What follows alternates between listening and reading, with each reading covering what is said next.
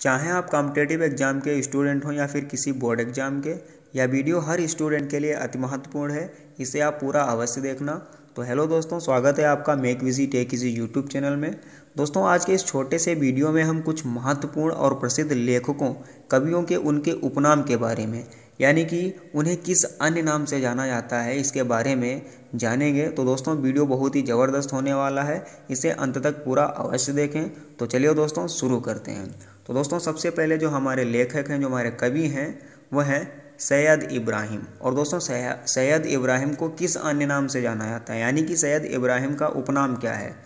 तो इसका आंसर है रस खान। यानी कि सैयद इब्राहिम का जो उपनाम है, जो दूसरा नाम है, वो है रसखान अब दोस्तों, इसमें देखने वाली बात यह है कि जितना सैयद इब्राहिम का मुख्य नाम प्रसिद्ध नहीं है, उतना तो इनका उपनाम प्रसिद्ध है रसखान आपने रसखान को ज़्यादा पढ़ा होगा, ज़्यादा लिखा देखा होगा, सैयद इब्राहिम बहुत कम। तो दोस्तों, ध्यान रहे रसखान का जो मुख्य नाम है जो इनका ओरिजिनल नाम है, वो है सैयद इब्राहिम और इनका जो उपनाम है, वो है रस खान दोस्तों, हमारे जो अगले कवि हैं, हमारे जो अगले लेखक हैं, वह हैं वाल्मीकि। तो वाल्मीकि को किस अन्य नाम से जाना जाता है? यानी कि वाल्मीकि का उपनाम क्या है? तो इसका आंसर है आदि कवि। यानी कि वाल्मीकि को आदि कवि के नाम से भी जाना जाता है। इसके बाद में जो हमारे अगले कवि हैं वो हैं नंददास। तो नंददास को किस अन्य नाम से जाना जाता है? यानी कि नंददास का उपनाम क्या है? तो इसका आंसर है जड़िया कवि। यानी कि नंददास को जड़िया कवि के नाम से भी जाना जाता है। इसके बाद में हमारे बहुत ही फ़ेमस बहुत ही प्रसिद्ध जो कवि हैं, वो हैं तुलसीदास। तुलसीदास को कौन नहीं जानता है? हम सब लोग जानते हैं, लेकिन शायद हम में से कई लोग तुलसीदास के उपनाम के बारे में नहीं जानते होंगे। तो तुलसीदास के कई उपनाम हैं। तो कौन कौन से इनके उपनाम हैं? जरा देखते हैं। तो तुलसीदास का पहला उपनाम है कवि शिरोमणि, और इनका दूसरा उपनाम है मानस का हंस। और इनका एक और उपनाम है, वो है लोकनायक। और एक और उपनाम है, वो है हिंदी का जाति कवि। यानी कि तुलसीदास जी को कवि शिरोमणि, मानस का हंस, लोकनायक, हिंदी का जाति कवि आदि इन नामों से भी जाना जाता है। तो बहुत ही इंपॉर्टेंट फैक्ट है, आप इनको ज़रूर नोट कर लेना। दोस्तों, इसके बाद में हमारे जो अगले कवि हैं, वो हैं केशव दास तो केशव दास का जो उपनाम है, वो है कठिन काव्य का प्रेत। और दोस्तों, ध्यान रहे क्वेश्चन इस तरीके से भी घुमा के भी पूछा जा सकता है कि कठिन काव्य का प्रेत किसे कहा जाता है। तो इसका उत्तर होगा केशव दास। दोस्तों, इसके बाद में हमारे जो अगले कवि हैं, वो हैं मतिराम। तो मतिराम का जो है उपनाम, वो क्या है? पुराने पंथ के पथिक। तो मतिराम को पुराने पंथ के पथिक नाम से भी जाना जाता है। दोस्तों, इस प्रकार की जानकारी अधिकतर किसी को नहीं होती है। आपके दोस्त लोग इनमें से आधे लेखक कवियों के उपनाम नहीं जानते होंगे। तो आप इस वीडियो को देखते रहिए और एक एक पॉइंट लिखते भी रहिए और अपने दोस्तों से ये वीडियो शेयर भी करना है अंत में।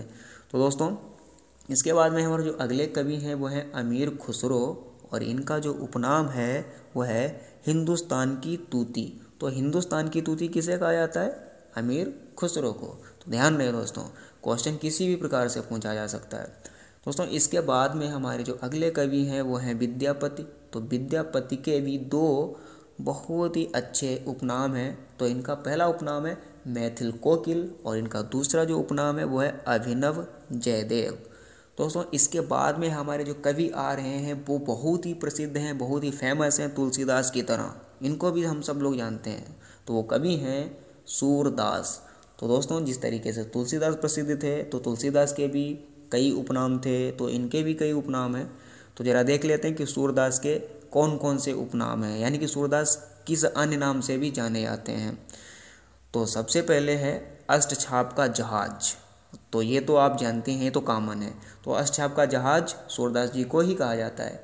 और पुष्ट मार्ग का जहाज़, ये भी सूरदास जी को ही कहा जाता है। इसके बाद में जो इनका अगला उपनाम है, वो है खंजन नयन और एक और इनका उपनाम है, वह है भावाधिपति। क्या है? भावाधिपति। और इनका एक और उपनाम है और सबसे खास उपनाम है, सबसे महत्वपूर्ण उपनाम है इनका, वह है वात्सल रस सम्राट।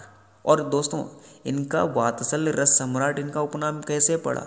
क्योंकि इन, इन्होंने, सूरदास जी ने अपनी सारी कृतियों में मतलब जिन्हों, इन्होंने जितने भी छंद दोहा लिखे हैं उनमें वासल रस की प्रधानता दी है। वासल रस का इन्होंने ज़्यादा प्रयोग किया है, इसीलिए इन्हें वासल रस का सम्राट भी कहा जाता है। दोस्तों, इनके बाद जो हमारे अगले कवि हैं, वो हैं घनानंद, और घनानंद का जो उपनाम है, वो है प्रेम की पीर का कवि, और इनका एक और उपनाम है, वो है साक्षात रसमूर्ति। यानी कि घनानंद जी के भी दो उपनाम हैं, एक तो है प्रेम की पीर का कवि, दूसरा है साक्षात रसमूर्ति।